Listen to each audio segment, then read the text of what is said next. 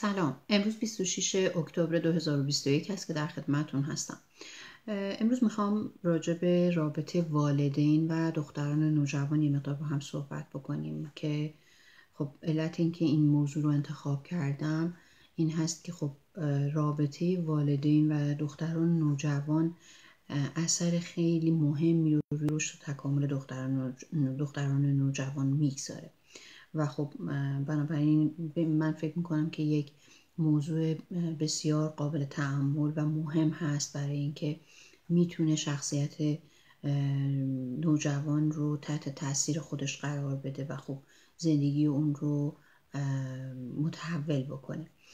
بدون شک رابطه ای که بین یک مادر و دختر نوجوانش وجود داره متفاوت از رابطه ای هست که اون دختر نوجوان با پدر خودش داره. از همون ابتدای بدو موجودیت یک دختر مادر با دخترش در ارتباط هست. در طی اون نه ماهی که مادر باردار هست این ارتباط رو برقرار می‌کنه. و خیلی وقتا این ارتباط با ارتباطی که پدر با دختر نوجوانش برقرار می‌کنه متفاوته. خیلی از اوقات می‌بینیم که ارتباط پدر با دخترش وقتی شکل می‌گیره که تازه دختر کمی بزرگ میشه قد می‌کشه رشد می‌کنه و پدر موجودیت اون رو متوجه میشه و باهاش ارتباط برقرار می‌کنه. بنابراین می‌تونه ارتباط متفاوتی باشه. لزوما ارتباط مادر و دختر یک ارتباط خیلی خوب نیست. گاهی وقتها یک چالش های رو داره و خیلی بستگی داره به نوع ارتباطی که یک مادر با مادر خودش قبلا داشته که بعضی وقتا تحت تاثیر این مسائل قرار می‌گیره و همون احساسات و گره هایی که قبلا تجربه کرده با دختر خودش توی رابطه تجربه می‌کنه. خیلی از اوقات می‌بینیم که مادرانی که توی زمینه شغل و تحصیل به اون چیزی که خودشون نتونستن دست پیدا بکنن و نرسیدن خیلی دلشون می‌خواد که این مسئله رو دختر خودشون دنبال بکنه و این قضایا رابطه اونها رو تحت تاثیر قرار میده. و خیلی وقتا خب این خواسته برابر نیست با خواسته ای که دختر نوجوان اونها داره و در واقع اون دختر نوجوان آرزوها و خواسته های متفاوتی رو داره و این تفاوت گاهی اوقات مشکلاتی رو توی رابطه اونها به وجود میاره.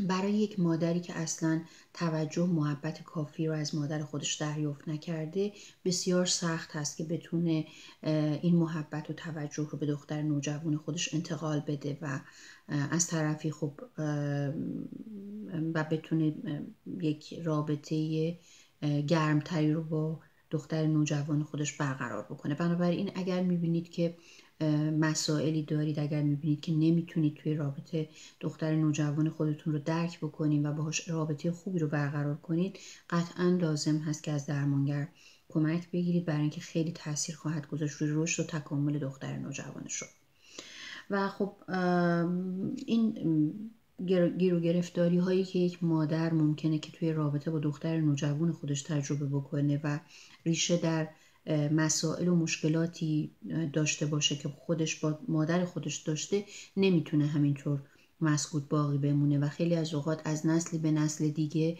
انتقال پیدا می‌کنه. چرا که وقتی خودش نتونه یک رابطه خوبی رو با دختر نوجوان خودش برقرار کنه چون رابطه خوبی رو با مادرش تجربه نکرده به تب این مسئله برای دختر خودش هم می‌تونه توی زندگی دخترش تکرار بشه. بنابراین لازم هست که بهش رسیدگی بکنه.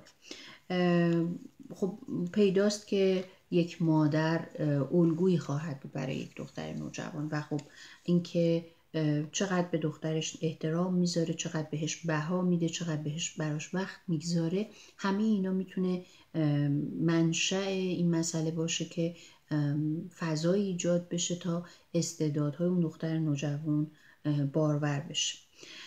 برای اینکه یک مادر نشون بده که واقعا دختر نوجوان خودش رو دوست داره لازم براش وقت بگذاره باهاش حرف بزنه به حرفاش گوش بده و خب رفتار و حرکات دختر خودش رو مورد دقت قرار بده. همه اینو نشون میده که این پیام رو به دختر نوجوان میده که مادر براش اهمیت قائله بنابراین دوستش داره. اینکه اگر یک مادر رابطه خودش رو با دخترش تصحیح نکنه و قبل از این مسئله شروع بکنه به ایراد گرفتن و سرزنش کردن دختر نوجوان خودش توی رابطه در مورد هر مسئله ای می‌تونیم بگیم که یک اشتباه بزرگ اتفاق میفته و رابطه از همون ابتدا قطع میشه. و خب هیچ نتیجه رو نتیجه مطلوبی رو ما توی رابطه نخواهیم داشت. خب مسئله دیگه خب رابطه پدر با دختر نوجوانش هست. خب اولین مرد زندگی یک دختر نوجوان پدرشه. اینکه چه مدل ارتباطی رو با دختر نوجوانش برقرار می‌کنه می‌تونه خیلی تاثیر داشته باشه روی مردی که در آینده دختر نوجوان برای زندگی انتخاب می‌کنه. الگوی مردانگی یک دختر نوجوان پدرش هست قطعا و اگر که رابطه خیلی نزدیک و صمیمانه رو پدر بتونه با دختر خودش برقرار بکنه می‌تونیم انتظار داشته باشیم که معمولا دختر نوجوان در آینده فردی رو انتخاب بکنه که بتونه باهاش رابطه گرم و صمیمانه رو هم داشته باشه.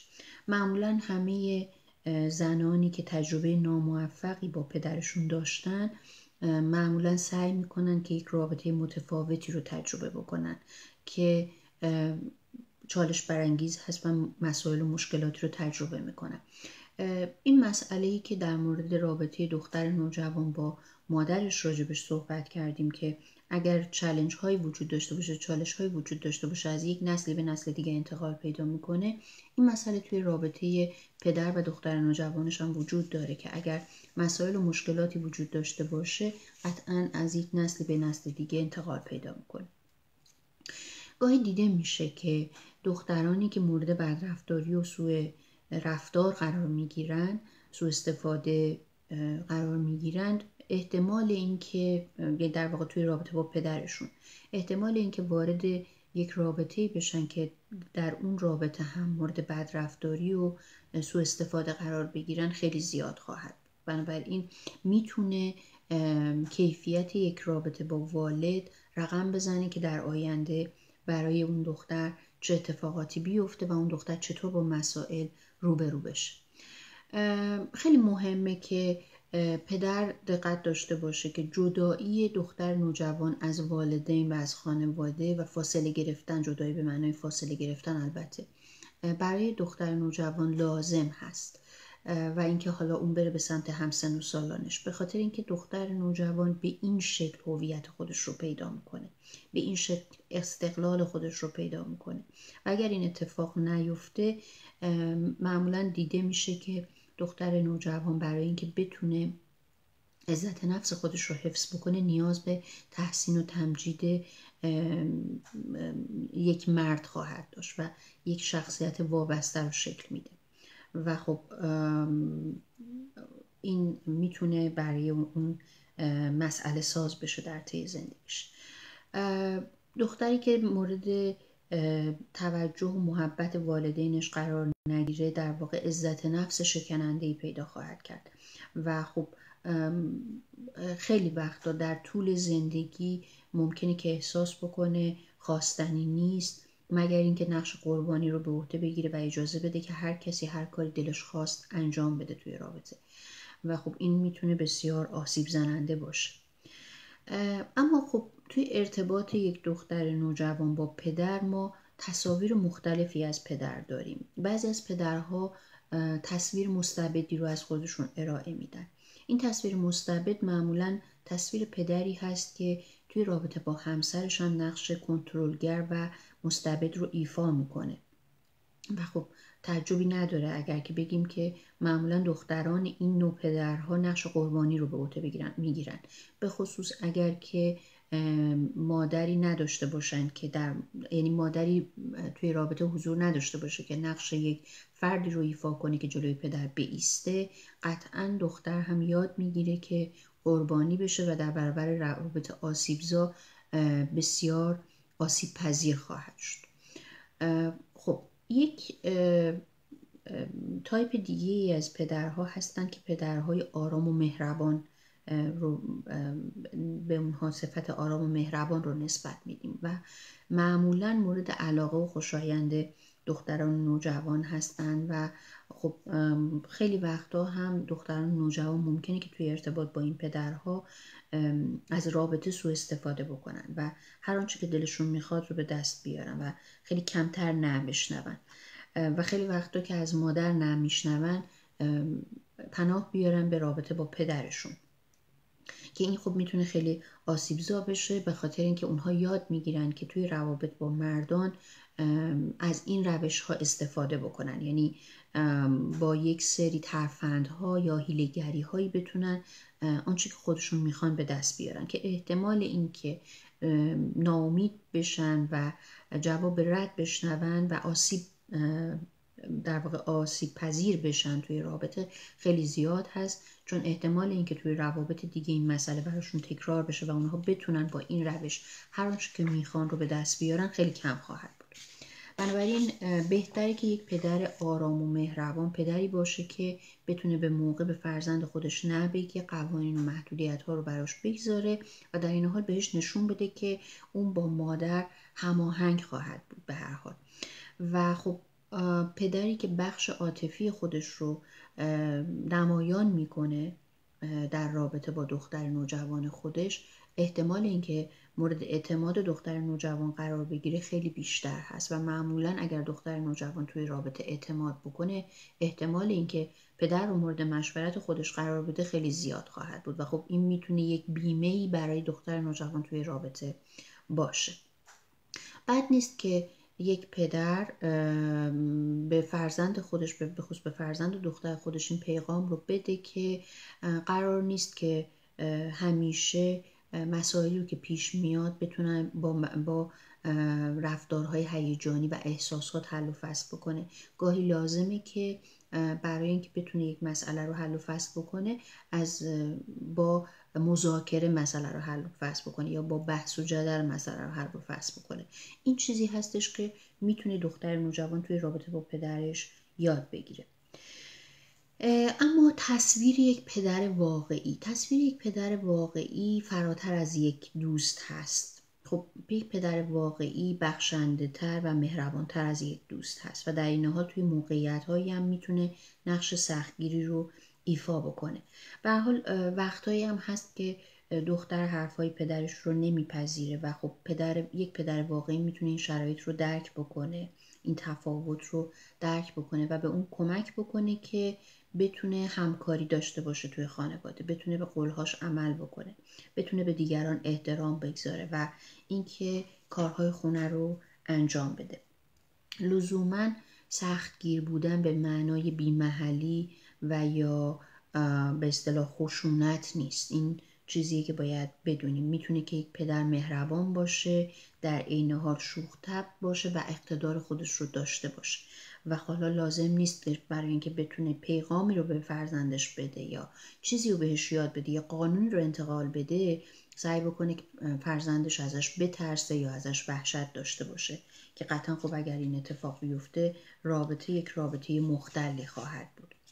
بنابراین اگر شما به عنوان یک پدر بتونید آرامش خودتون رو حفظ بکنید و با عصبانیت رفتار نکنید احتمال اینکه بتونید یک تصویر خوبی رو توی ذهن دختر نوجوانتون ایجاد بکنین به عنوان یک الگو و پایه‌ای برای دختر نوجوان برای اینکه بتونه تصویر درستی از همسر آیندهش رو توی ذهنش نقش بندازه و تشکیل بده خیلی زیاد خواهد بود و می‌تونه اثر مثبتی رو روی دختر نوجوان شما و آینده اون داشته باشه. و خب در واقع یک معیارهایی رو توی ذهن اون برای انتخاب همسر ایجاد بکنه.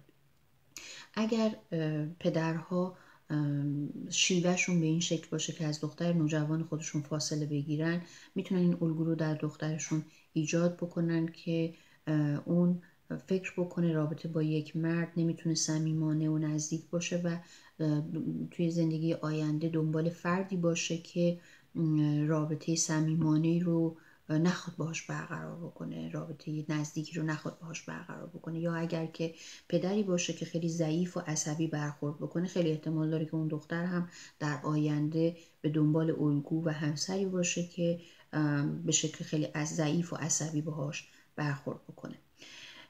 دقت بکنیم یه پدر واقعی بخش کوچکی از زمان رو اختصاص میده به اختلاف نظرها و کشمکش هایی که با فرزندش داره و سعی می‌کنه که بیشتر به دنبال اشتراک ها باشه.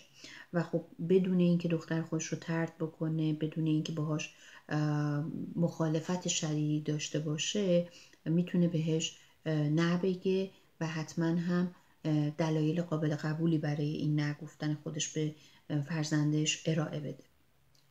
و خب این می‌تونه سرمنشأ شکگیری توان نگفتن در برابر همسن و سالان در دختر نوجوان باشه در آینده. خب اینکه بدون دشمنی کردن بدون ترسوندن بتونه باهاش مخالفت کنه در واقع پدر بتونه بدون اینکه باهاش دشمنی کنه بدون اینکه سرزنشش بکنه باهاش مخالفت بکنه برای اینکه بتونه با دختر نوجوان یک سری حد و مرزها و قوانین رو ست بکنه. خب این بسیار اهمیت داره. و اینکه خب پدر واقعی داد و فریاد نمی‌زنه تشر نمی‌زنه تحکم نمی‌کنه. این رو باید به خاطر داشته باشیم و خب این رو باید بدونیم که دختران نوجوان انتظار تعریف و تمجید و تحسین رو از پدر خودشون دارن. و خب اگر که با چنین چیزی مواجه نشن معمولا دچار سرخوردگی هایی میشن. بنابراین باید دقت بکنیم که رفتار یک پدر اثر و در واقع اثر عمیقی روی روح دختر نوجوان می‌گذاره و نقش مهمی رو برای آینده اون ایفا خواهد کرد. خب پس یک پدر واقعی اعتقاد راسخ داره و روی اعتقاداتش میسته پرخاشگری نمی‌کنه احترام می‌گذاره به فرزندش گوش میده باش حرف می‌زنه براش وقت می‌گذاره و اینکه حالا اگر بخواد حد و مرز تعیین بکنه با آرامش این کار رو انجام میده صدای گرمی داره و خب نیازی نیست که با خشونت این قوانین رو به دختر خودش انتقال بده. خب بچه ها می‌تونن در قیاب پدرشون هم خوشحال باشن اما خب قطعا نبود پدر به شدت توسط اونها احساس میشه. و اینکه خب اگر دختر مجبوره که بدون حضور پدر زندگی بکنه لازم هست که بتونه الگوهای مردانی رو در اطراف خودش داشته باشه. حالا این الگوهای مردانه می‌تونه دایی امو یا پدر بزرگ باشه یا معلم و مربی اون باشه. اما خب قطعا نیاز داره به حضور این الگوها در زندگی خودش. بعضی وقتا مادری که جدا شده از همسرش برای شرایطی به وجود میاد تا پارتنری داشته باشه و خب یا ازدواج مجددی داشته باشه. لزوما نباید توی وانمود بکنه انگار که اون پارتنر یا اون همسر دوم نقش پدر واقعی فرزندش رو داره. در نهایت در بهترین حالت ممکن در وضعیت ایدئال اون یک دوست محسوب میشه. در واقع می‌تونه دوست خوبی باشه برای فرزند شما. و در عین حال خب علاوه بر این می‌تونه که بعضی از مسئولیت های پدرانه رو هم برای فرزند شما بپذیره. اما اینکه نقش یک پدر واقعی رو ایفا بکنه یا فرزند شما اون رو به عنوان پدر واقعی خودش قبول بکنه این درخواست خیلی غیر ممکنیه خواسته غیر ممکنیه و اون که خب مهمه اینه که اون دوستی و احترام بین اونها حفظ بشه. و خب قطعا ما از فردی که بزرگ تر هست این انتظار رو داریم که اون دوستی و احترام و در ابتدا اون براش در واقع پیش قدم باشه. برای بیشتر کودکان یک پارتنر عاطفی که برای والدشون رو می‌بینن و باهاش مواجه میشن قابل پذیرش نیست برای اونها راحت نیست. و در واقع اون رو به عنوان یک دردسر جدید شناسایی می‌کنن. ولی از اونجایی که خیلی علاقه مندن که از والد خودشون مراقبت بکنن معمولا در این مورد واکنش واضحی رو از خودشون نشون نمیدن. بنابراین با علم به این مسئله لازم هست که با این قضایای جدیدی که ممکن توی زندگی دختر نوجوان ما ایجاد بشه مواجه بشیم و برخورد بکنیم و انتظار رفتارهای در واقع منطقی رو داشته باشیم. یعنی در حد همین صحبت هایی که داشتم انتظار داشته باشیم. نه چیزی بیشتر از دختر نوجوانمون توی این موقعیتی که در موردش با هم صحبت کردیم. من سپاسگزارم که با این برنامه همراهی می‌کنید. می‌تونید اگر سوالی داشتید برای من توی مسنجر فیسبوک سوال رو به صورت کوتاه مطرح بفرمایید. من در اولین فرصت پاسخ خواهم داد یا در واتساپ به شماره 604 818 3071 من در حد توانم پاسخ خواهم بود. دوستانی هم هستند که نیاز به جلسات مشاوره چه به صورت آنلاین چه به صورت حضوری دارن می‌تونن با من تماس بگیرن. من شرایط رو خدمتشون خواهم گفت با شماره 604 818 3071 دوستانی هم هستن که بیمه شغلی دانشجویی یا تکمیلی دارن. می‌تونن با من تماس بگیرن من شرایط استفاده از بیمه ها رو خدمتشون عرض بکنم. دوستانی هم هستن که تحت پوشش بیمه تصادفات هستن. می‌تونن بدون پرداخت هزینه این جلسات رو داشته باشن. می‌تونن با من تماس بگیرن. من خدمتشون عرض خواهم کرد که چطور می‌تونن اقدام بکنن. دوستانی هم هستن که تحت خشونت خانگی قرار گرفتن. تحت پوشش برنامه سیوب هستن. می‌تونن بدون پرداخت هزینه این جلسات رو داشته باشن. با من تماس بگیرن من خدمتشون توضیح خواهم داد. دوستانی هم هستن که تحت پوشش ورک سیف بی سی هستن و می‌تونن بدون پرداخت هزینه این جلسات رو داشته باشن که باز می‌تونین با من تماس بگیرین. من خدمتون عرض خواهم کرد که چطور می‌تونین مسئله رو پیگیری بکنید شماره من هست 604 818 3071 همه شما رو به خدای بزرگ میسپارم تا روز و روزگار دیگه ای که در خدمتتون هستم. براتون آرزوی روزگار خوشی رو خواهم داشت. خدا نگهدار همه شما.